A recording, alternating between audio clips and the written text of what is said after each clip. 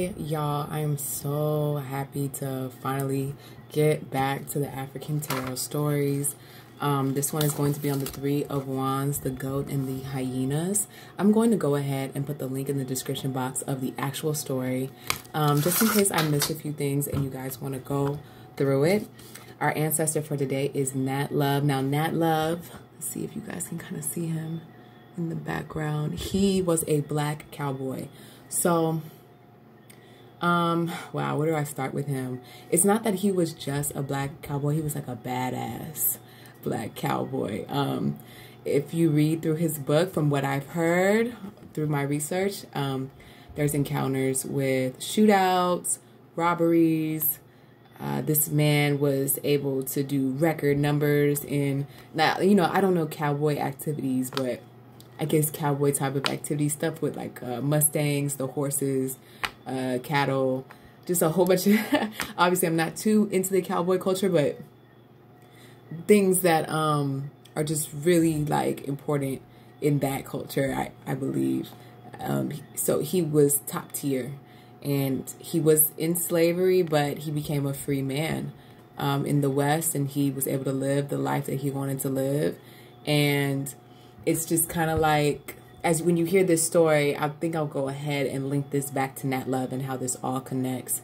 But I think it's just so dope. Um, you don't expect necessarily a black cowboy and someone to be at the top of their game. It's just, it's just, you know, another underdog story. But um, really, really juicy one with Nat Love. So I definitely enjoyed learning about him. Ashe to Nat Love. Uh, peace to you, brother. And thank you for just living your life and just doing what you love to do. Um, very inspiring. So, the hyena and, uh, excuse me, the goat and the hyena. So, in this story, there were two kingdoms. The goats had their own kingdom, and the hyenas had their kingdom. And one day, the goat started arguing that, you know, nobody could go into the hyena kingdom without getting eaten. But there was this little wise goat who said that he could. And he felt that he could without getting one hair missing off of his back. Now, everybody laughed at him, and the chief of the goat kingdom said, If you can go into the hyena kingdom and, you know, come back alive, I will give you my kingdom. So, he starts working on this rope. He starts knitting this rope, knitting this rope, knitting this rope and as he's knitting the rope, he puts it around his belly and then he gets a bundle and he walks into the hyena kingdom. Well, he actually runs into the hyena kingdom. And all of a sudden, he's in the middle of the hyena kingdom and you know, I don't know if he was like out of breath, but I'm sure he was because because now he's seeing these two hyenas looking at him, staring at him, and, you know, ready to devour him. So he says, Wait, what are you doing? Don't devour me. I am a guest of your chief. They're like a guest of our chief.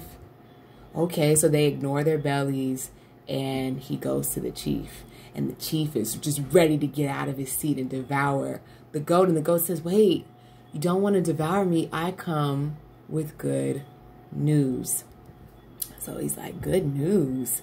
What is this news? You know, he said, well, I am not the only goat who wants to move into the hyena kingdom. All the goats want to move into the hyena kingdom and they want to bring their cattle with them. This is why I brought this rope. And so just the idea alone of the goats coming into the kingdom gets the hyena chief, you know, all stirred up, right? And he said, Ooh, this is a good idea. And so, excuse me, so the goat, the little wise goat, says, Maybe you should prepare some pits, you know, for our cattle to go in so that when I come back, we have a place to put the cattle in. He says, Good idea, good idea. I'm going to go ahead and make the pits, right? And so he gives him some coins, he gives him some money to show, you know, favor for their friendship. Of course, in his head, he's thinking about eating all these goats. So then the brave, wise little goat goes into the market, buys some honey, buys some skin, and then he's on his way back um, outside the hyena kingdom, going back to his kingdom, the goat kingdom. So two hyenas follow him. They said, "Oh, we're just gonna follow you, you know, to make sure you get to your destination, to make sure it's safe." Of course, that wasn't really their plan. And as they're going, going, going, they're following him so close, and he's just like, "Why are you still following me?" You know, I'm past the beginning of my journey, and one of the the hyena looks at the other hyena and he says, "You know, maybe we should stop here. We shouldn't tire ourselves out." But then another hyena was like, no, like, let's go, because all the way, because in his intention was to kill and really eat the goat. So they keep going, and as they're going, I believe it was like a like a river or a water, uh, yeah, like a river or something like that that they're going up on across from the bank, and a lion shows up, and the lion scares them, of course, because as we all know from Lion King, lions and hyenas you know, we know that relationship, right? So the hyenas are scared, the goat is a little scared. and um, the lion kind of a little baffled that they're scared too. Said, Well, what are you guys doing? And the little wise goat immediately speaks up, I'm a medicine man, and I don't know why these hyenas are following me. He says, A medicine man? What type of medicine man? He said, I'm a rainmaker. He said, A rainmaker? Well, let me see you uh, make it rain. And you know, at this part of the story, you're like, oh my gosh, like how is this little goat gonna make this happen? But in the story, it's a folk story, remember that. In the story, he shakes really, really, really, really hard, and then it starts to rain. And so now the lion is baffled, like, oh my gosh, you are a medicine man. Whoa, you know, let me, um, can you make me a talisman? And he said, sure. he said, well, what do you need to make the talisman? He said, well, I need hyena skin to make the talisman. And so the lion looks at the hyena and he's like, will you give us some of your skin? And of course, the hyenas say yes because they can't run anywhere. And so they, unfortunately for them, take off a piece of their skin to give to the lion.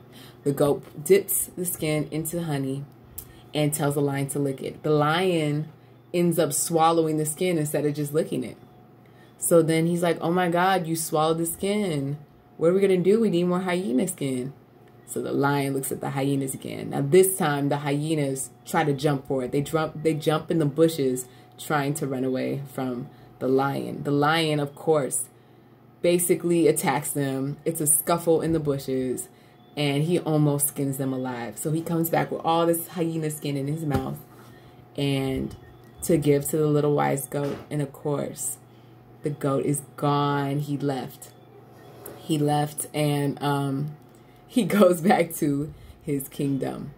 So when he goes back to his kingdom, everybody in the goat kingdom astonished agrees that because he was wise enough and smart enough to go into the hyena kingdom and come back that he definitely should be their chief. So that's the story. And, you know, Three of Wands is this energy of going out there and um, it, of really putting yourself out there. That's mostly what I think about when I think of this card. Now I'll go ahead. Let me go ahead. I'll read off of the book. And I know some of you guys have the book, right? So exploration, discovery, boldness, decision, readiness of spirit. I love that readiness of spirit. So this is what we can think of when we think of the Three of Wands. We can think of this story. You can think of Nat Love. You can see how that kind of ties in with Nat Love. Just somebody you wouldn't expect to be, you know, so adventurous. You wouldn't expect a goat to try to go up against hyenas. But um, you might find yourself in the situation in life like you don't, you might not seem like you're able to or be one of those people that... Um, looks like you're supposed to be in this type of environment, but you're wise enough and smart enough to really go through with it and face it and come out of it. So just a really dope energy, readiness to spirit spirit adventure. I hope you guys enjoyed this. I'm going to go ahead and put the link to the story. Um, and remember that our ancestor is Nat Love, okay? All right, y'all. See you guys in the next one. Peace.